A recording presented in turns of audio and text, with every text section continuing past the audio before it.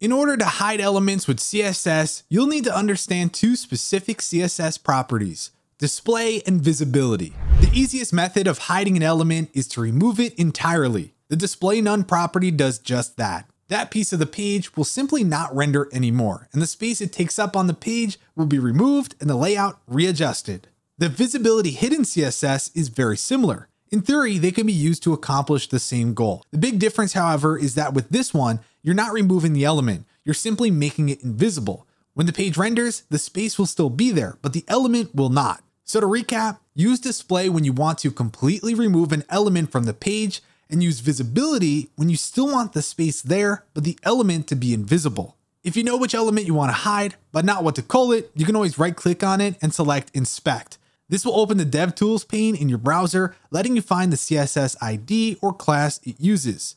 When it comes to hiding elements on specific pages in WordPress, you'll need to find the page ID class. You can find this ID by looking in the URL bar of any edit or preview page. The number listed in these URLs is the page ID that you will use in the CSS selector to target elements on that specific page and nowhere else on the site.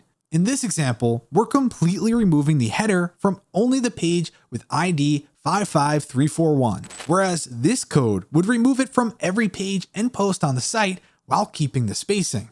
So there you go, that was a super brief look at display and visibility. If you enjoyed this video, then be sure to give it a like and subscribe for more content. With that said, thanks for watching and we'll catch you in the next one.